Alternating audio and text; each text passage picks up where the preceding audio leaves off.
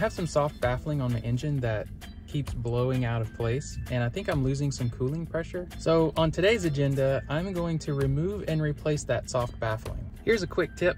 Ace has a pretty nice selection of aluminum pop rivets and aluminum washers for those pop rivets, which appears to be the perfect thing to use for installing soft baffling. Clearly don't use ACE parts for anything that's flight critical, but I think for baffling, it's a reasonable choice and certainly a lot less expensive than the specialty aircraft supplier. It is so hot outside. I am struggling to get out of my nice air conditioning truck, but it must be done.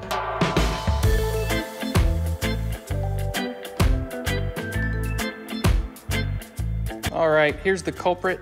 This thing has been bugging me for months. On my cowl that comes over this way, there's a bit of a uh, fiberglass uh, dam right here.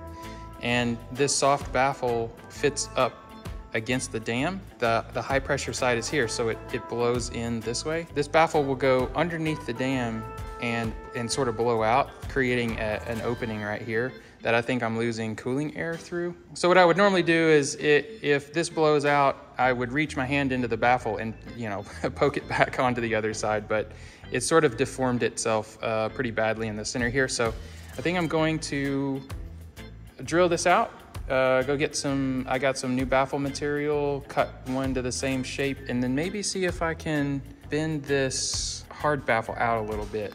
Uh, not exactly sure if it's gonna, if just replacing this is gonna be enough of a fix or not. So just gotta get to it. This is connected with these eighth inch aluminum uh, pop rivets.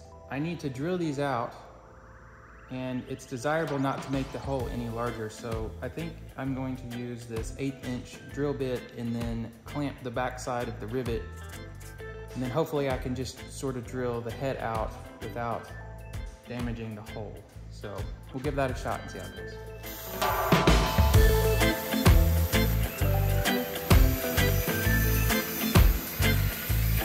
I'm probably being paranoid, but on this rivet here, if I drill from this side, uh, shavings will fall down into the into the cylinder itself, and I don't really want that to happen, so I'm going to put a piece of tape here to try to catch the shavings.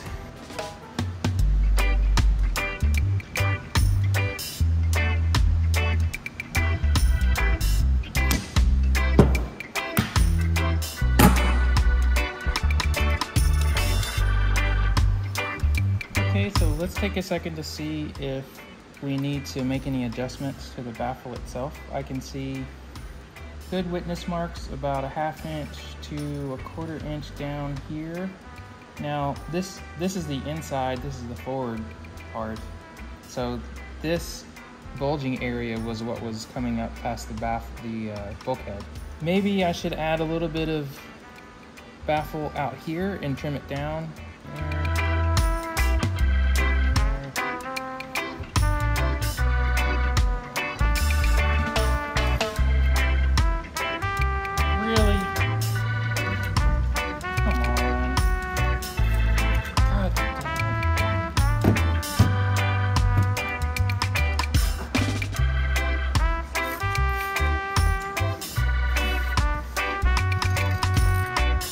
This is just a leather hole punch kit. I've had success just drilling these out, but these make nicer holes.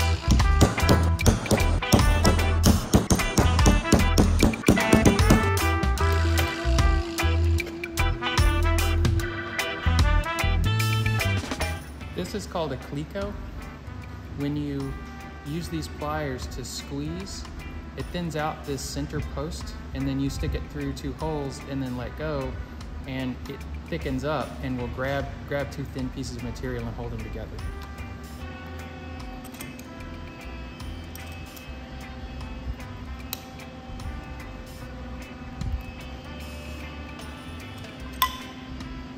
All it's left to do is install the pop rivets.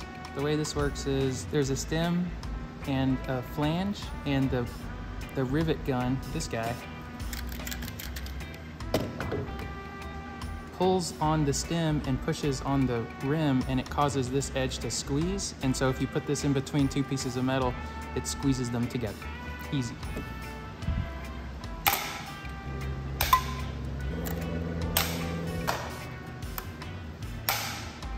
So there you go, we're done. That was pretty simple. I should have done that months ago, but you know how it goes.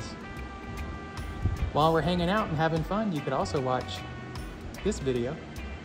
See you guys.